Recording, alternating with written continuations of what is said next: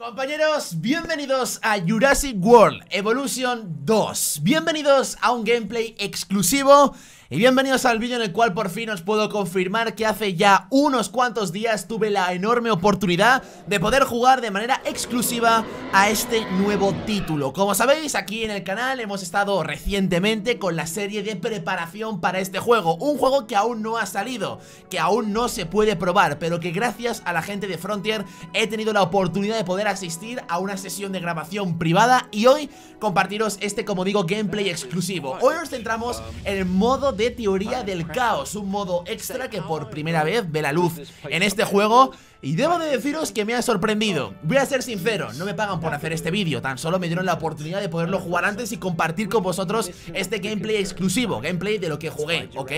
La cosa es que, mm, bueno, yo no daba un duro por este modo de juego. Quiero decir, no me llamaba mucho la atención, la verdad. Siempre he sido más de ir a mi bola en el modo sandbox Y hacer un poco lo que me apetezca. Sin embargo, debo deciros que me ha sorprendido Y lo ha hecho para bien. Si habéis fijado antes en el menú, según estáis viendo el gameplay este de fondo eh, hemos podido ver los diferentes escenarios en los cuales vamos a tener la oportunidad de jugar a esto, a teoría del caos. Un modo que al fin y al cabo lo que hace es plantearnos qué hubiese pasado si. En este caso nos centramos en la película número 2 de Parque Jurásico, qué hubiese pasado si al final el Parque de San Diego se hubiese podido hacer de forma óptima. Pues bueno, aquí está Alfa en San Diego, listo para construir ese parque. Vais a flipar, ¿vale? Vais a alucinar con lo que hoy vamos a ver, vamos a repasar desde diferentes tipos de estructura y el nuevo sistema de customización de las mismas hasta varias especies de dinosaurio, nuevas mecánicas dentro de lo que es la construcción de los recintos, vamos a abrir el parque al público y también vais a ver una especie que, bueno... Creo que os va a hacer bastante ilusión. Una o quizá más Así que bueno, sin más demora chicos Aquí estaba yo después de haber jugado al modo campaña Porque eso debo de decirlo Tan solo me han pasado el gameplay del modo teoría del caos Ok, pero estuve practicando un poquito Me dejaron como 40 minutos más o menos Un poquito más Para poder jugar al modo campaña Y de esta forma digamos, desenvolver mejor con los controles Porque ciertamente soy una persona que ha jugado bastante al Jurassic World Evolution 1, a la primera parte pero eh, hay mecánicas nuevas, hay mecánicas nuevas. Al fin y al cabo quiero que os toméis este juego. El resumen que os puedo hacer es, básicamente La primera parte, es el primer juego Tiene la misma esencia Las mecánicas algunas se comparten Pero llevado al siguiente nivel. Quiero decir, todo lo que podía faltar en la primera entrega Aquí en la segunda se, se completa. Y se completa a lo loco. Es decir, este es un juego que poco más le puedes pedir. Al menos como digo de lo que puedes probar de modo campaña Que insisto, no os puedo enseñar nada porque no me han pasado ese gameplay. Eh, Pero bueno, entre eso y lo que probé del modo teoría del caos La verdad que me quedé muy satisfecho Pero, pero, pero muchísimo. Ya digo, escoger el 1 y mejorarlo Mejorarlo bastante. Bueno, aquí me veis construyendo el primer recinto Y es que si os fijáis abajo a la derecha me informan De que van a llegar varios paquicefalosaurios En un tiempo determinado Y tengo ese tiempo para poder construir una jaula Que sea acorde con todo esto. Al fin y al cabo estamos preparando el parque para abrirlo a la gente Y es lo que vamos a ver Esa preparación, digamos, en este gameplay exclusivo. Por otra parte, me gustaría informaros De qué es esto que ahora mismo estáis viendo. Que, bueno, aquí le di sin querer al escape Bueno, ¿qué es esta estructura? El post de los Ranger, el Ranger Post bueno, ahora hay otra mecánica, como os decía, bastante más realista que a mí me gustó. En la primera entrega tú podías ver cómo se sentían los dinosaurios, si estaban cómodos o no De una forma un poco mágica, ¿no? Tú te ponías encima del dinosaurio, mirabas tus, sus estadísticas y ya está Y te decía todo. Vale, sí, ok, es un videojuego, es normal que esto ocurra Pero en la parte 2, en este título, en el Jurassic World Evolution 2 Esto cambia. Ahora tienes que mandar a un equipo de Rangers que se encargue manualmente de revisar cómo están esos dinosaurios. Y es ahí cuando obtienes sus datos. Sus datos de si están cómodos o no Qué les falta o qué les sobra. Y eso me encanta. Pues bien, con ese Ranger Post Lo que haces es no tener que ir clicando en todos y cada uno de los dinosaurios De forma manual con el equipo de Rangers porque sería muy pesado, muy cansino y llegaría un momento en el cual no darías abasto. La gente de Frontier ha pensado en esto y el Ranger Post lo que hace es que tú se lo asignas a un equipo de Rangers y de forma cíclica van haciendo patrullas pasándose por los diferentes Ranger Post que tú les hayas ordenado revisar y de esta forma pues se van a ir fijando los dinosaurios que estén dentro del alcance de ese Ranger Post. Básicamente es revisar los dinosaurios como están de una forma realista. Aquí ves cómo lo hago de uno en uno, ¿se habéis fijado cómo lo clicaba? Pues con los Ranger Post esto os lo ahorráis, perdón. Asignáis un equipo de Rangers a uno de esos posts y ya está, y los dinosaurios van a estar controlados y van a estar vigilados para, insisto, saber qué tal se encuentran. Bueno, por supuesto, es una versión en desarrollo, ¿vale? Lo que he probado. Eh, así que no vais a ver todo lo que va a estar de cara en el juego final. Yo tampoco lo he visto, pero más o menos os pongo este, mm, este esta parte de, de mi gameplay Para que veáis toda la cantidad de estructuras, de equipos nuevos, de, de todo. O sea, hay mucho contenido nuevo con respecto al primero Y es lo que os decía, tenemos más opciones, tenemos muchas más estructuras, tenemos muchos más escenarios Y yo no sé qué pensaréis, pero a mí esto me encanta, la verdad. Por otra parte, vais a ver ahora una segunda especie Y vais a ver cómo nos lo traen en helicóptero. En este caso no los criamos no quiero hacer spoiler, evidentemente, de la película 2 de Parque Jurásico, pero bueno, si la habéis visto, entenderéis por qué nos lo traen en helicóptero los dinosaurios. Aquí los veis, los pequeños Compsonatus.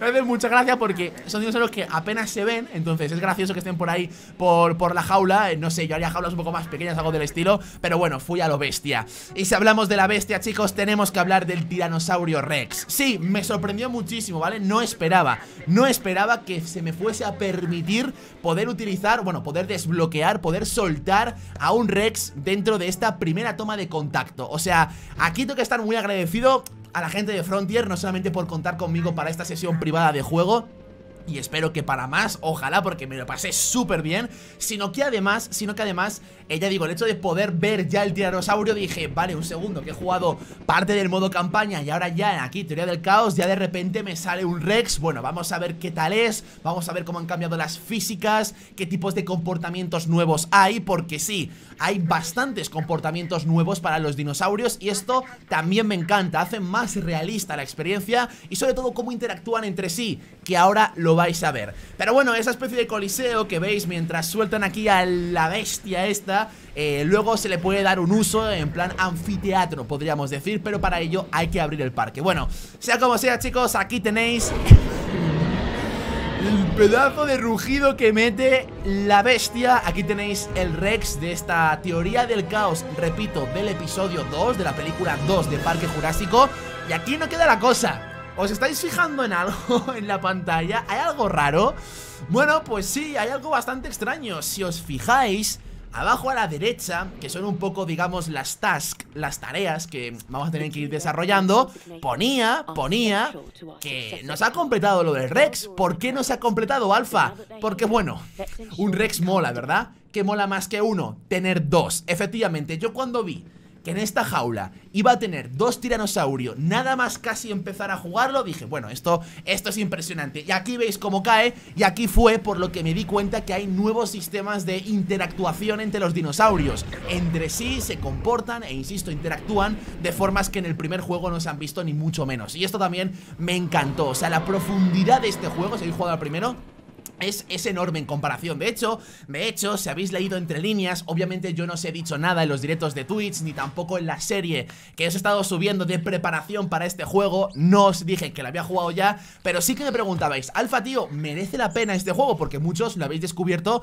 gracias a los streamings y a la serie de aquí el canal secundario Alfa, ¿merece la pena este juego o no merece la pena? Y yo qué os decía, yo os decía Bueno, sí, está muy guapo el 1, por supuesto Pero guardaos el dinero, guardaos el dinero porque va a salir el 2 Claro, yo sabía, después de haberlo probado, que la impresión que me llevé era tremendamente buena. Entonces, ¿el 1 merece la pena? Sí, claro que sí, es un muy buen juego, pero es que el 2, digamos que es la esencia del 1, todo lo que funciona bien del 1, pero como digo, elevado al siguiente nivel, con contenido, con, ya digo... Eh, e, elementos de comportamiento de los dinosaurios O sea, es que todo, es que no hay un sitio por el cual pueda empezar Porque de verdad, es, es impresionante cómo han ampliado todo. Por ejemplo, cosas tan sencillas como esta, la animación para dormir es distinta, es mucho más realista, podríamos decir, con respecto a lo, del, primer juego. Insisto, en muchas cosas son detalles simplemente, pero claro, como son tantos detalles, los vas sumando y al final cuentas todos y dices, wow. Otro de los detallazos, la verdad, esto fue de las cosas que más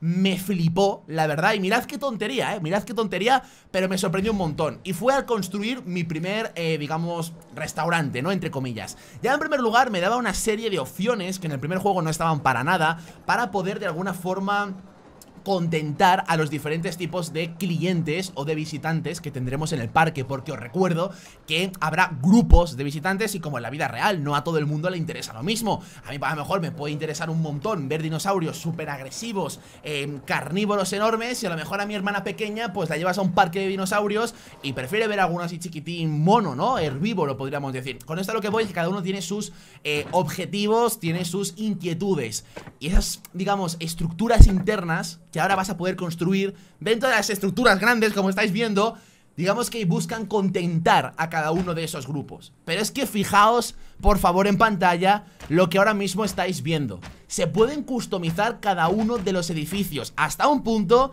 que creo que no os imagináis. Mirad cómo estaba tocando las opciones, cómo se modifica de forma visual y creo que también de forma realista a la hora de jugar, me refiero en función eh, las cosas que pongas, te repercute de una forma u otra el rendimiento del edificio y me resultó fascinante. Pero si eso ya me resultó fascinante, fijaos este detalle, se puede cambiar hasta incluso las luces de cada uno de los edificios para crear un estilo propio dentro de todo el parque. Y ya habéis visto que la capacidad cromática de colores que hay es, vamos, todo el espectro eh, cromático. Puedes poner el color que te dé la gana, incluso customizarlos tú a tu gusto en la paleta de forma manual. O sea, impresionante, lo dicho, impresionante. Sencillamente escoger el primer juego, repito Y ¡pum! Llevarlo al siguiente nivel de una forma bestial.